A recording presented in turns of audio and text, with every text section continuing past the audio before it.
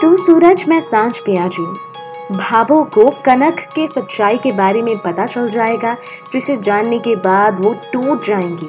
Star Plus की popular show तू सूरज, में साँझ पियाजी में बहुत बड़ा ट्विस्ट आ चुका है।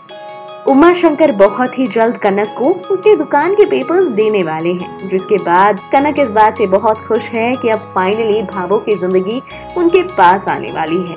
उमा शंकर इस कहानी में आगे भाभो से मिलने जाते हैं, जहाँ भाभो को सच्चाई जानने के बाद बहुत तकलीफ़ पहुँचती है। जैसे ही उन्हें पता चलता है कि कनक ने उनके लिए इतना बड़ा बलिदान दिया है, वो टूट जाती है। भाभो गुस्से में दुकान में तोड़ फोड़ करती हुई नज़र आएँगी, जिसमें वो सभी स्वीट्स को खराब कर देंगी। सामान यहाँ वहाँ फेंकने लगेंगी। उन्हें इस बात का बहुत पछतावा है कि आखिर उन्होंने कनक को इतना गलत कैसे समझ लिया।